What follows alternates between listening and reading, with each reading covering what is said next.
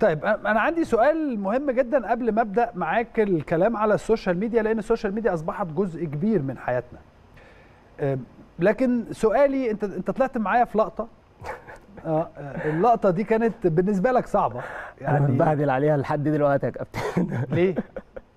ناس بتخش بتقول لي إن أنا منافق وإن أنا بمثل وإن أنا آه، كنت زعلان ب جون قفشة. مش عايز أقول لك يعني أنا أصلا الموضوع ساعتها كان صعب جدا عليا. آه. آه، أنت عارف إحنا كنا في اليوم السابع فحضرتك ضيف وكابتن طارق السيد ضيف معايا.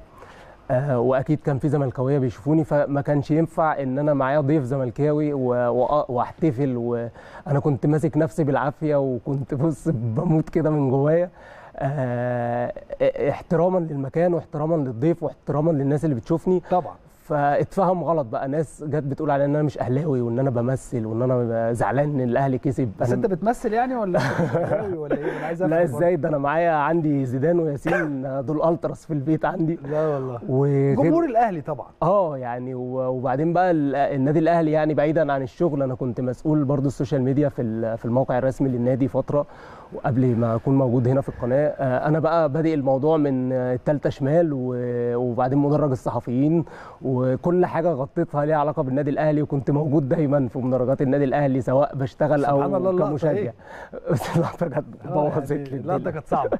صعبة جدا بس هي أنا كنت مطلوب منك الحيادية في الوقت ده. أكيد يعني حضرتك مثلا لو معاك يعني ضيف مثلا من الترجي وإحنا كسبانين مثلا هل هينفع تبقى تضايقه؟ أو يعني لازم برضو نحترم الضيوف اللي معانا.